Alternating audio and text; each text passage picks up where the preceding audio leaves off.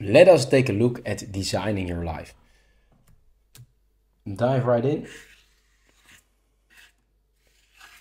Bicycle boy, once again.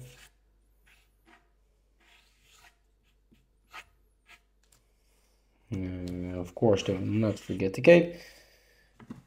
We have model 1, model 2, but know that bicycle boy can change wheels. Okay, so I'm only explaining two wheels, but there's a grass shop. You can select any wheel you want.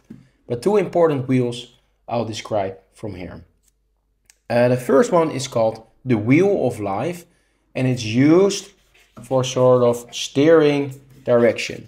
So I would say this one, wheel of life, helps you determine certain goals you want to achieve, so to say. So in this case, if you want to achieve this goal, remember in the future, steer in this case left.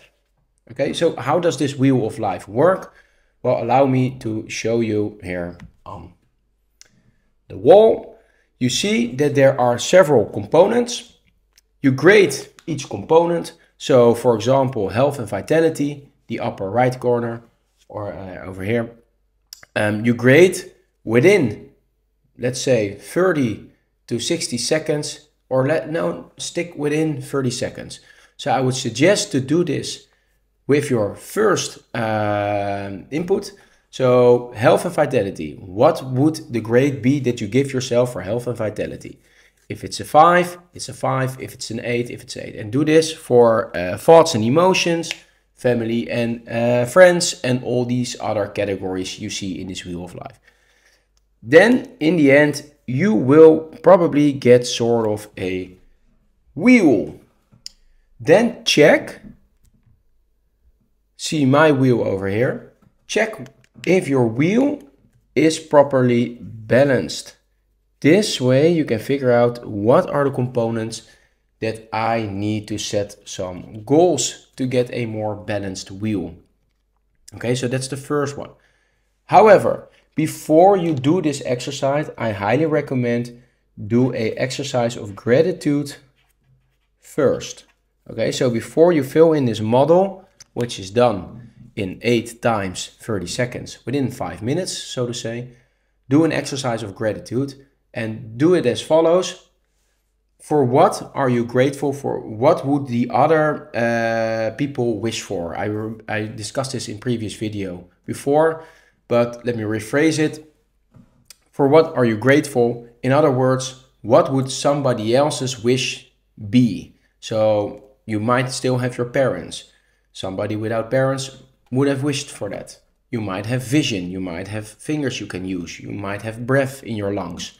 Whatever, you have things, be grateful for it. Because that connects you best to your prefrontal cortex, your higher being, and your higher being, you want your higher being filling in your wheel of life, not your monkey mind. So activate your higher being via this gratitude exercise. Yep. So within 30 seconds, then um, later drop in these categories. So let's say, for example, uh, growth and learning. Let's zoom in on this one. Let's say that this is growth. Then again, within one minute, drop down the first things that you can think of that you want to grow in. So for me, this is a reanimation course, like uh, do my, uh, help somebody revive so to say. Also uh, Brazilian Jiu-Jitsu, uh, driving motor license or getting my motor license in order. Those things. Yeah. I will upload my uh, Wheel of Life later. And that's how you feel in the Wheel of Life. And that's how you see if this wheel is not only balanced, but also the goals in the future. Remember, this is not your current state that you're in. This is a future. So to power your engine um, I would suggest to monitor the present. And how do you do that? Via the quantum thought approach.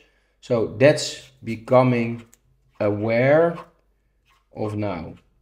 So this model is all about the desires you have as an individual. Desires either fueled by your higher being or your monkey, uh, perhaps a mix. This one is becoming fully aware in your present.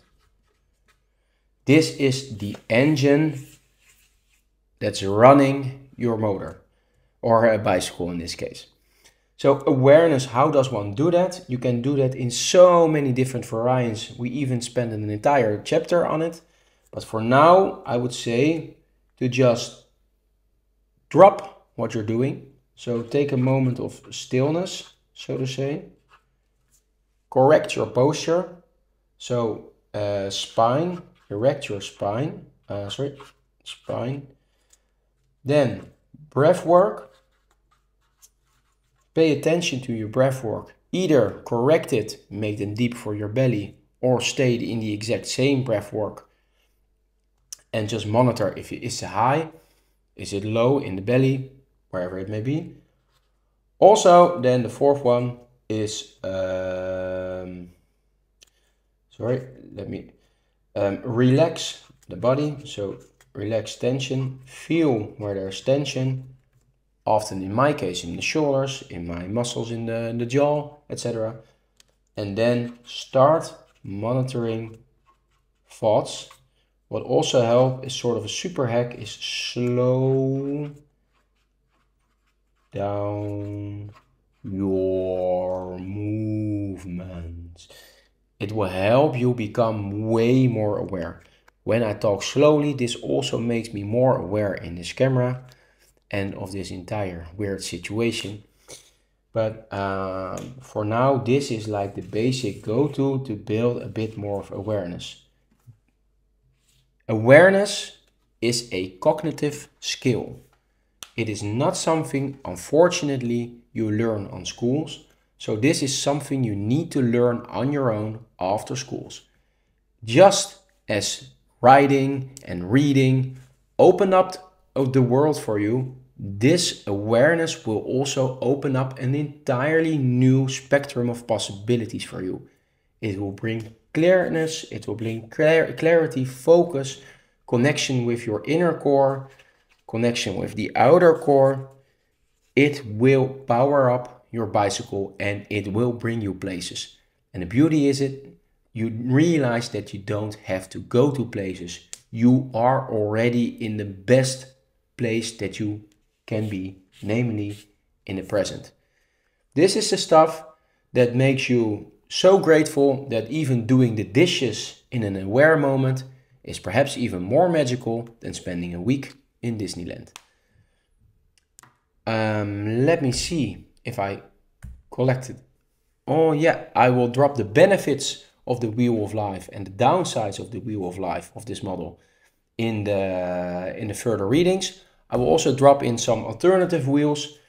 Pretty much they're all the same for steering directions. They're leaning or directing you to, towards future goals. This is often known as a sort of a Western model. And I would say that this is more known as the Eastern model. Once again, complement, complementary opposites. No right, no wrong. It is as it is.